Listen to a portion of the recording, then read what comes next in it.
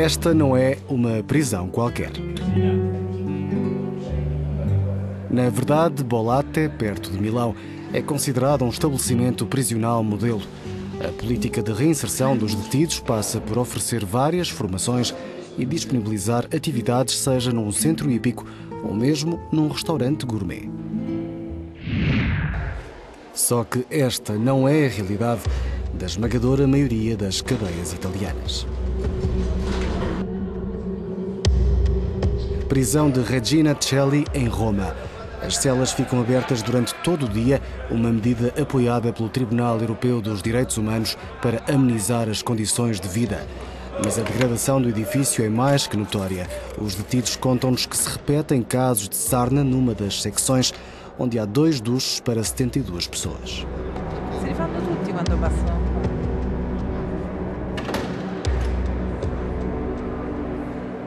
Qui si vive ristrettezza. Tudo o que lá fora não tem importância nenhuma, aqui torna-se numa questão crucial. Se esperamos muito tempo para tomar banho, há logo uma grande discussão. A tensão é permanente. Em Como, no norte de Itália, as infiltrações de água nas instalações sanitárias multiplicam-se.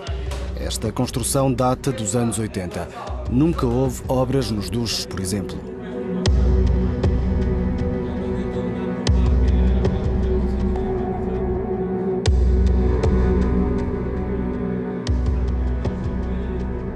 Em Trani, na região da Apulia, em algumas das cozinhas, a sanita fica ao lado da mesa de refeições.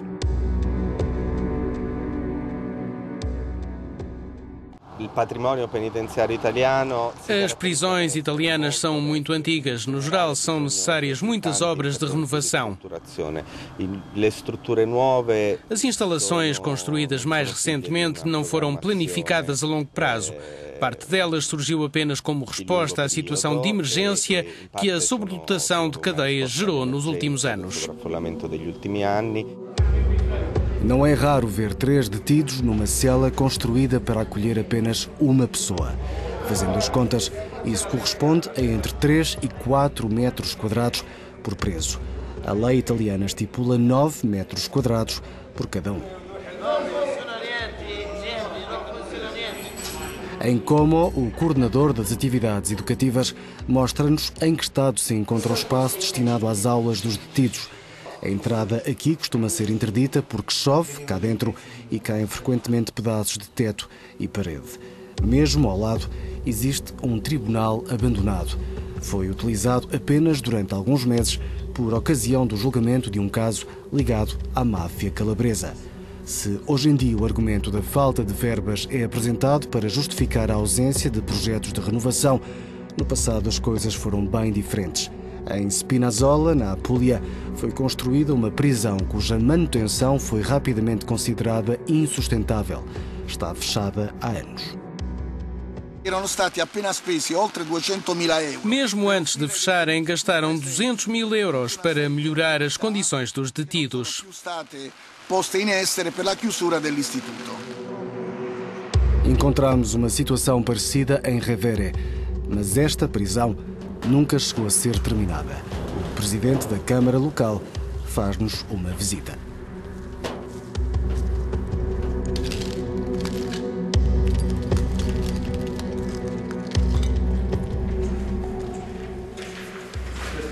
Isto era suposto ser uma cela com uma casa de banho.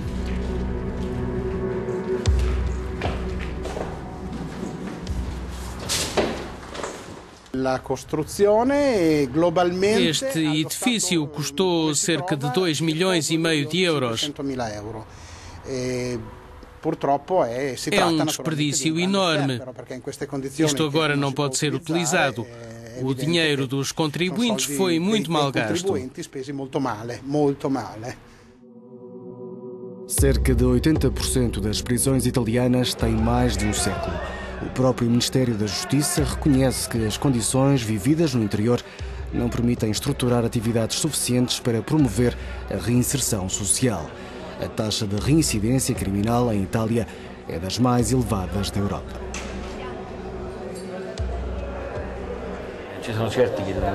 Há outros detidos que não sabem escrever, então eu escrevo por eles. Já me tornei quase num advogado. Há quem tenha conseguido sair da prisão graças aos recursos que eu preparei. Como tenho autorização para estar mais tempo do que os outros fora da cela, posso fazer um pouco mais. Posso, posso fare un po' di più di quello Há muita gente aqui que prefere ficar o dia todo na cela porque não arranja nada para fazer.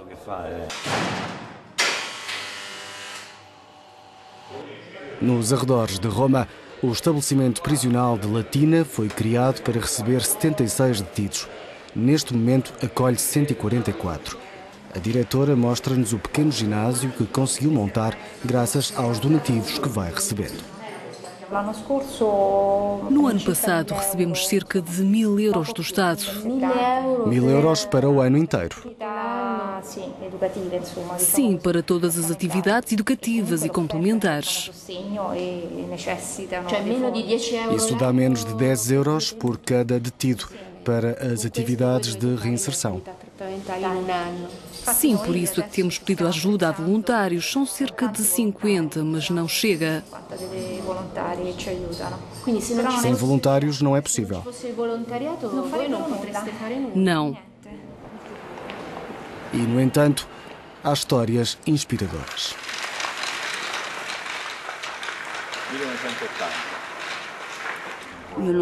Eu não sabia ler nem escrever. Demorou, mas consegui.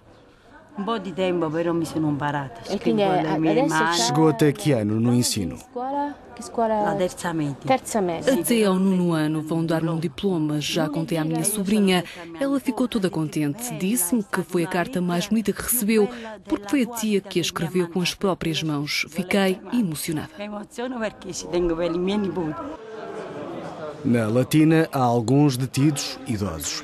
Em certos casos, a pena já terminou, mas a verdade é que não têm para onde ir, nem há lugares suficientes nas instituições públicas de acolhimento. Por isso, ficam na prisão. Nós tornamos-nos caixotes do lixo de todos aqueles que não queremos ver nas ruas. Eles são atirados para as prisões, sejam doentes psiquiátricos, idosos, sem abrigos, todos os que estejam numa situação crítica. E nós temos de gerir tudo isso. E poi noi abbiamo difficoltà a gestire perché non è il posto. Non è la Mas não é o vosso trabalho.